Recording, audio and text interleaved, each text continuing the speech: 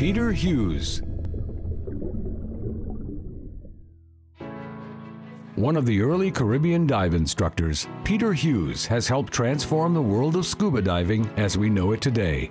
Peter championed the idea that scuba diving should be inclusive to all who have had an interest in diving, not just the professionals.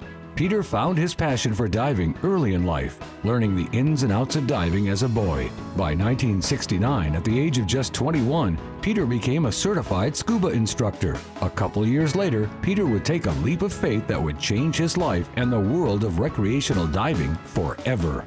Peter seized an opportunity to take over a failing dive operation on the island of Roatan, Honduras, turning it into his first modern, attractive, dedicated dive resort, Anthony's Key Resort.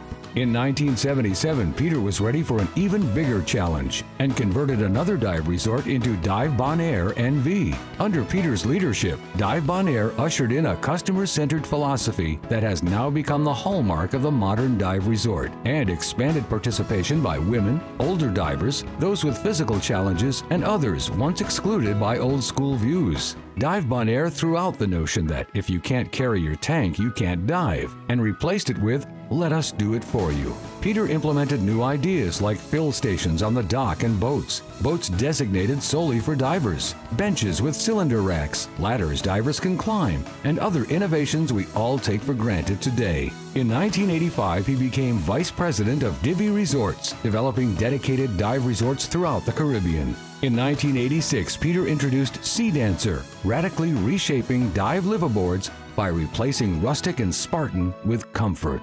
In 1992, as president of Peter Hughes Diving and the Dancer Fleet, Peter upped the ante with the Wave Dancer Luxury Liveaboard, attracting female and upscale divers. Wave Dancer replaced bunks with suites, paper plates with china, and nickel and dime costs with all-inclusive pricing.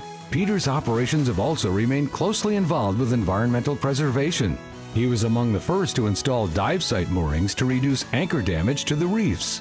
Dedicated to mentorship, Peter trains rising dive travel leaders at all his destinations. He has spoken before the government about the economic benefits and importance of diver tourism.